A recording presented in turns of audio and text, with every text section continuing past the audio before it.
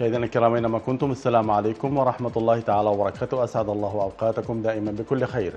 نحييكم من قناة الشروق عبر جولة جديدة في السودان هذا المساء نستهلها بأبرز العناوين. حمدوك يؤكد أن صناعة الدستور عملية مستمرة نستصحب معها كل القضايا. كباش يتفقد متضرري الفيضانات بمحلية جبل أولياء. اكتمال الاستعدادات بجميع ولايات السودان لانطلاقة امتحانات الشهادة السودانية غدا الأحد.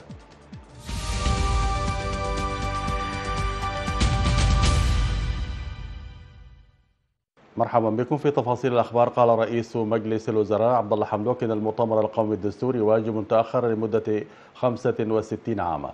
وذكر حمدوك خلال مؤتمر تفاكري لمنظمة السودان للتنمية الاجتماعية أن المؤتمر القومي الدستوري خلاله تبنى الدولة وتشيد أركانها بغية الوصول إلى طريق مستقيم. وأضاف على أثره نتعاقد جميعا كشركاء في الوطن والهم على أساس نضع حدا للمشاكل والحروب التي أجهدت البلاد. وأشار حمدوك إلى أن ما يتم تقديمه عبر هذه المنابر يجب أن يكون محل اهتمام ومراعاة من قبل كافة السودانيين.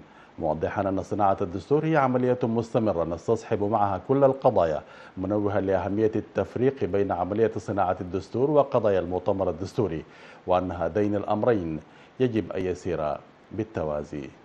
الشكل المثالي إننا بعد نخلص من موضوع السلام نجي كلنا مع بعض نساهم في القصة بتاعت الدستور ولذلك لحد الليلة ما تشكلت مفوضية المؤتمر الدستوري لأنه نحن دايرين المشاركة فيها حتى من ناحية عضوية وعملية نشرك فيها قوى الكفاح المسلح وتكون فيها كل قوى شغله.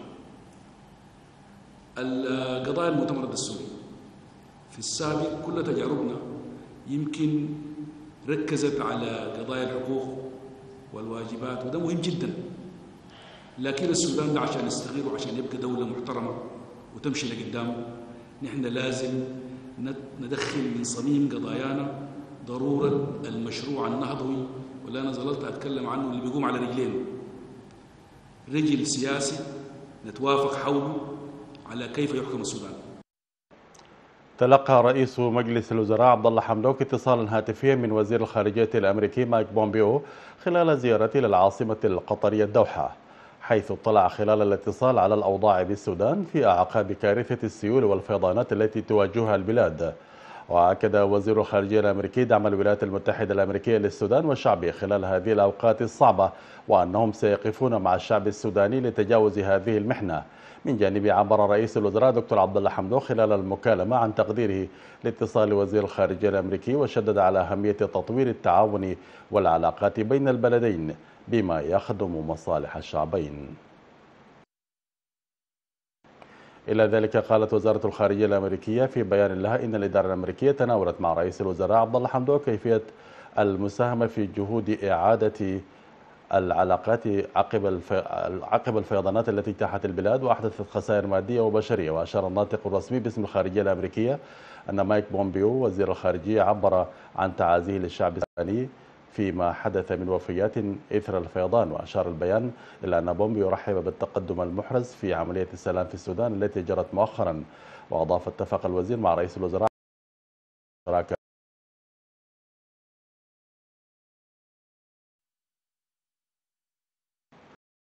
وزارة الخارجية اليوم السبت إجلاء عشرات السودانيين العالقين في ليبيا بالتنسيق مع المنظمة الدولية للهجرة وسفارة الخرطوم بطرابلس. وقالت الخارجية في بيان لها أنها قامت بالتنسيق والتعاون مع المنظمة الدولية للهجرة والسفارة السودانية بطرابلس بإجلاء حوالي 160 مواطنا سودانيا من ليبيا منهم 18 طالبا سودانيا من مدرسة الأخوة الليبية السودانية. يجلسون الامتحانات الشهادة السودانية غدا الأحد. ولفتت إلى أن وزارة الخارجية وبالتنسيق مع المنظمة الدولية للهجرة الدولية تقوم بتنظيم رحلات الإجلاء للسودانيين من ليبيا منذ الأول من يونيو. العام 2019 وحتى الآن. قدمت عضو مجلس السيادة الانتقالي عائشة موسى السعيد دعما ماديا وعينيا بعد أن قامت بواجب العزاف الذين توفوا جراء حادث حريق مكب النفايات بمنطقة الفتح شمال مدرمان. أوضح رامي مامون مدير مكتب الأستاذة عائشة موسى أنهم قدموا بتوجيه منها دعما للمتأثرين من الحادثة والذين ما يزالون يتلقون العلاج في مستشفى حاج الصافي ببحري. وأشار المأمون إلى وفاة اثنين جراء الحادثة فيما يتلقى تسعة أشخاص العلاج بالمستشفى. من ناحية أخرى قالت ممثلة اتحاد نساء جبال النوبة سامي عبد الرحمن إن الاتحاد استمع لتنوير من لجان المقاومة والخدمات عن التأثيرات الناتجة من المكب وخطر ذلك على المواطنين كما قاموا بزيارة للمصابين بالمستشفى لتقديم الدعم النفسي والعيني لهم. أثناء الزيارة اطلعنا على تنوير من لجان المقاومة ولجان الخدمات والتقرير عن المكب ومخاطره والآثار الجانبية. وخلص التنوير بمطالب إلقاء المكب أو نقله إلى مكان آخر وتوصية وتوصية من الأستاذة عائشة للجهات ذات الصلة. وعليه سوف يقوم الآن لجان المقاومة والتغيير بتدريس الطرق بتدريس الطريق المؤدي إلى المكب إلى أن تتحقق المطالب. ومن ثم ذهبنا إلى زيارة المستشفى للمصابين الآخرين في مستشفى حي الصافي ببحري.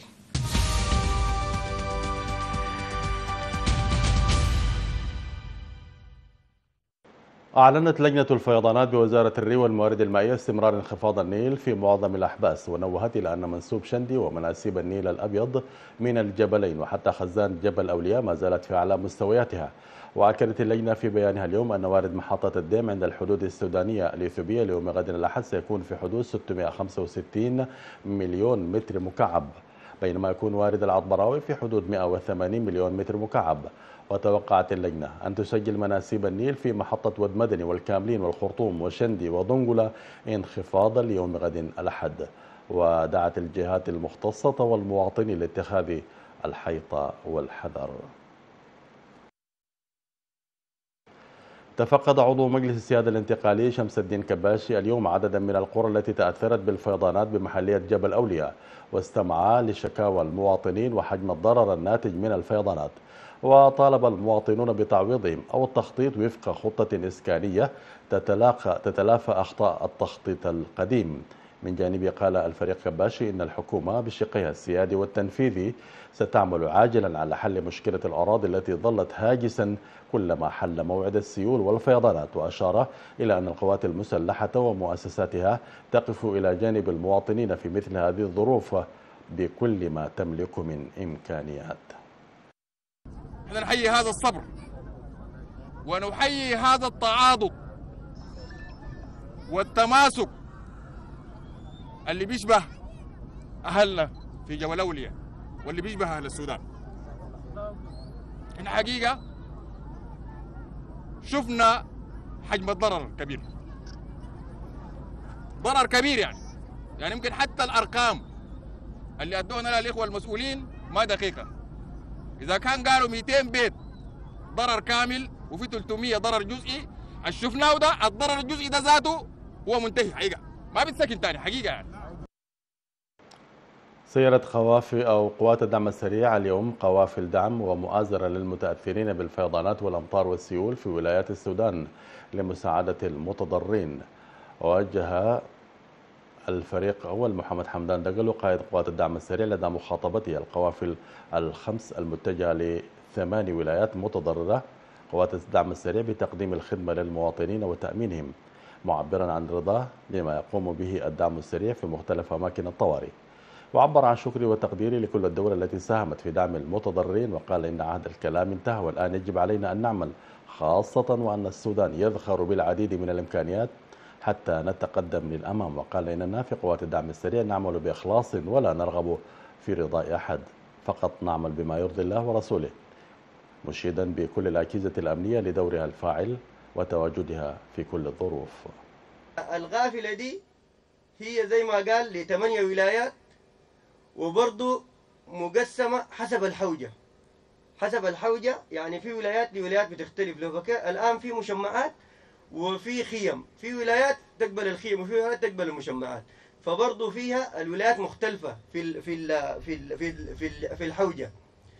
الحاجة المهمة في في الغافلة دي طبعا أي فيضانات أو أي كوارث بعقبها الوباء. فأهم شيء برضو الرش. الرش هو الآن مهم بالنسبة الآن فعلا الحمد لله ممكن السيول ماشية في تدني لكن بعقوبة بعد الباعوض والأمراض وكلام كثير جدا. وصلت إلى مطار الخرطوم صباح اليوم طائرة إغاثة لتوفير الاحتياجات الإنسانية العاجلة لمتضرري السيول والفيضانات بالسودان مقدمة من الهلال الأحمر الإماراتي. وفق توجيهات صاحب السمو الشيخ محمد بن زايد النهيان ولي عهد أبو ظبي ومتابعة سمو الشيخ حمدان بن زايد النهيان ممثل الحاكم في منطقة الظفرة رئيس هيئة الهلال الأحمر الإماراتي. وتحمل القافلة 30 طن من المواد الغذائية وهي مواد إيواء خيام وأغطية ومشمعات بجانب مواد طبية وصحية لإصحاح البيئة.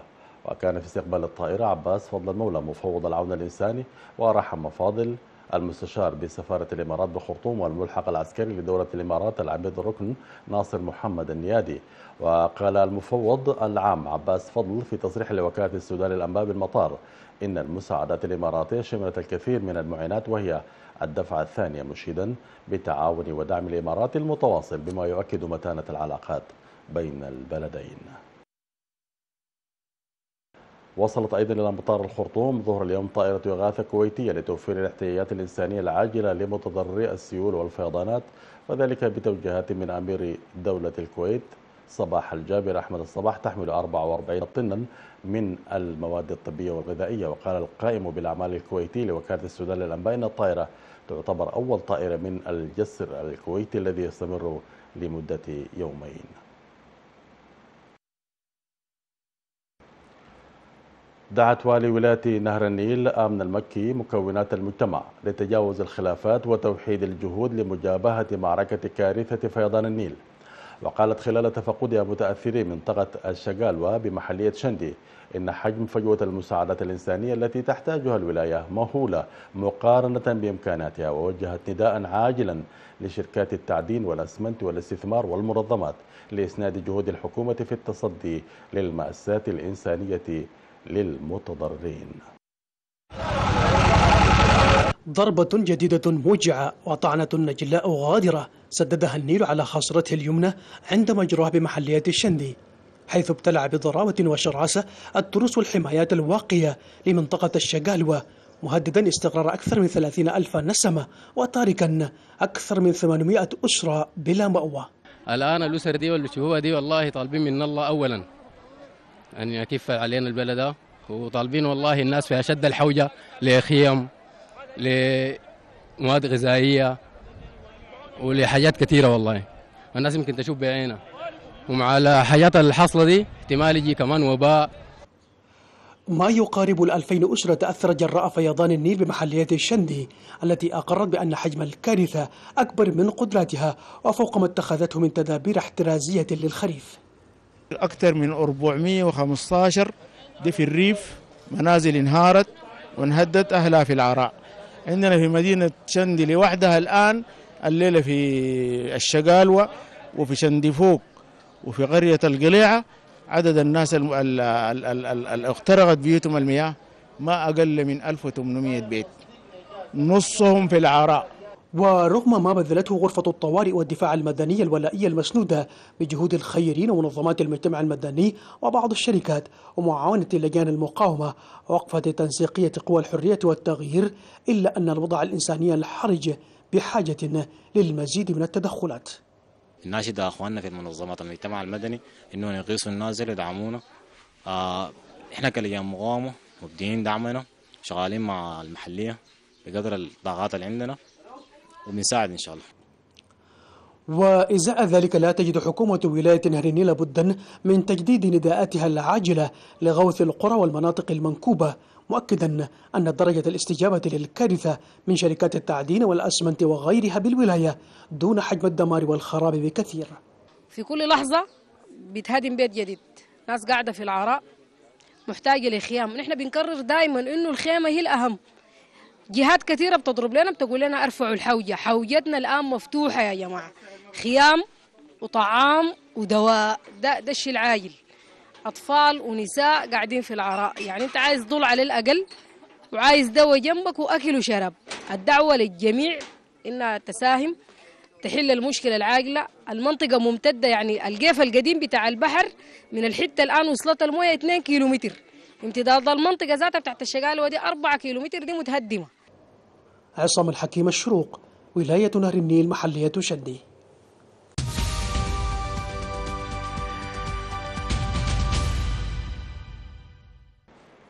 اكتملت الاستعدادات بجميع ولايات السودان لانطلاقة امتحانات الشهادة السودانية غدا الأحد حيث يجلس لامتحانات هذا العام نحو 689522 طالب وطالبة موزعين على 4125 مركز داخل وخارج السودان.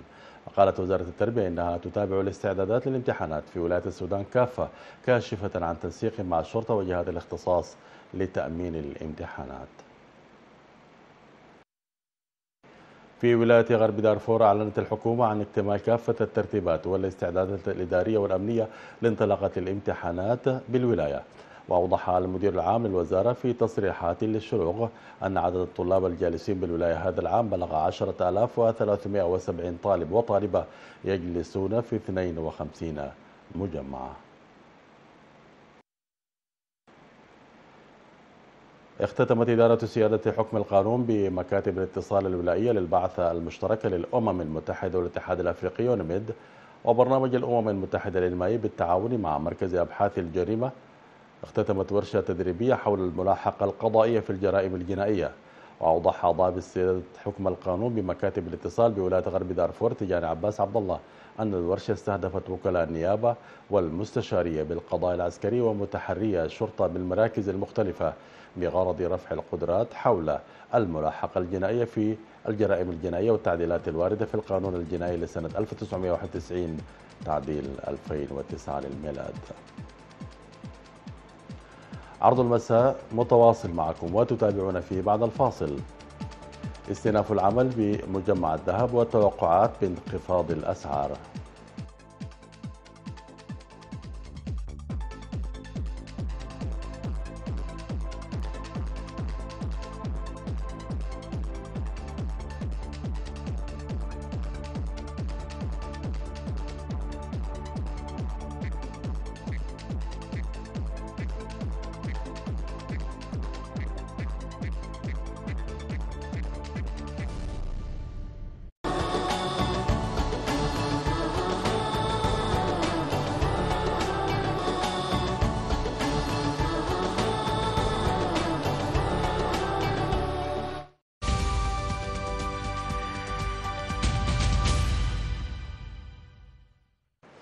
أهلا بكم مجددا في أخبار العالم اعلن الرئيس الأمريكي دونالد ترامب توصل إسرائيل ومملكة البحرين لاتفاق تاريخي لإقامة علاقات كاملة بينهما وقال في تغريدة على حسابه بتويتر إن الدولة العربية الثانية التي تبرم اتفاق سلام مع إسرائيل في 30 يوما وقالت وزارة الخارجية البحرينية من جانبها إن وزير الخارجية عبد اللطيف الزياني تحدث هاتفيا مع نظيره الإسرائيلي جابي إشكنازي اليوم السبت وذلك غداة إعلان تطبيع العلاقات بين البلدين.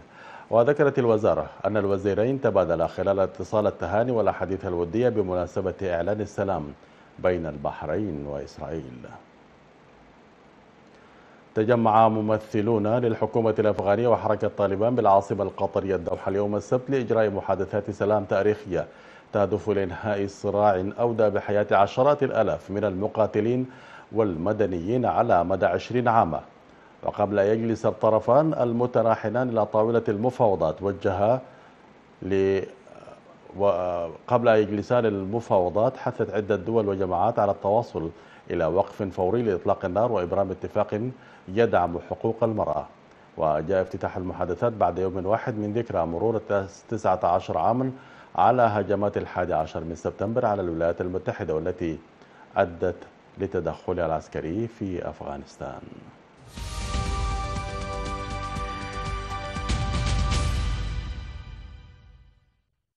استأنف العاملون بمجمع الذهب بالسوق العربي أعمالهم اليوم السبت بعد إغلاق محلهم التجارية يوم الخميس احتجاجا على ارتفاع الدولار وتدهور قيمة الجنيه السوداني وارتفاع أسعار الذهب.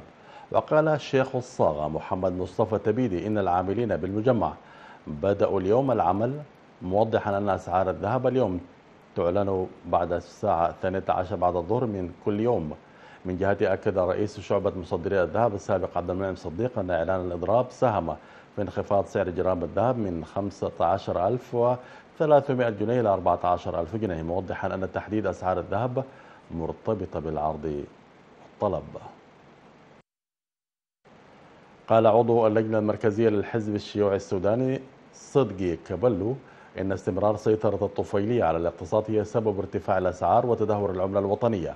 وأضاف في تصريح لوكالة السودان للأنباء أن الارتفاع الجنوني في الأسعار وتدهور العملة السودانية هما ظاهرتان لمرض واحد هو استمرار سيطرة الطفيلية على الاقتصاد وعدم اتخاذ السياسات الصحيحة للإصلاح الاقتصادي. وأشار أن الحكومة لم تتخذ من الإجراءات ما يكبح النفوذ الاقتصادي والمالي للطفيلية.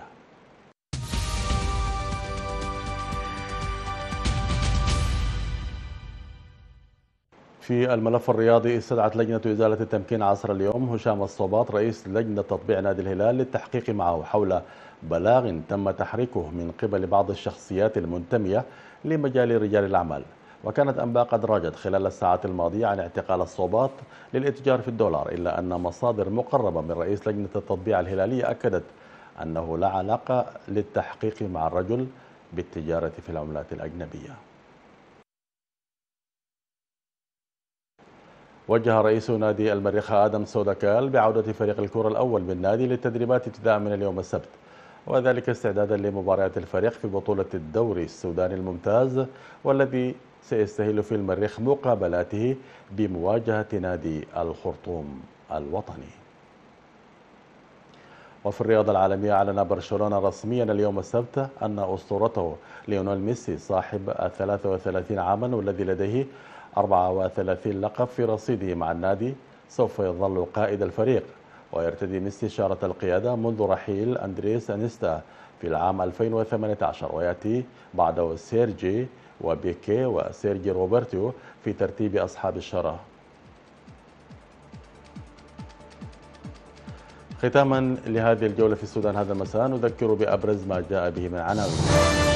حمدوك يؤكد أن صناعة الدستور عملية مستمرة نستصحب معها كل القضايا. الكباش يتفقد متضرري الفيضانات بمحلية جبل أولياء. واكتمال الاستعدادات بجميع ولايات السودان لانطلاقة امتحانات الشهادة السودانية غدا الأحد. أمنيات التوفيق لكل الممتحنين ونسأل الله سبحانه وتعالى أن يخفف على الذين تضرروا من الفيضانات. ختام هذا العرض من السودان هذا المساء قدمناه لحضراتكم من قناة الشروق. شكرا لمتابعتكم تحياتي وفريق العمل إلى اللقاء.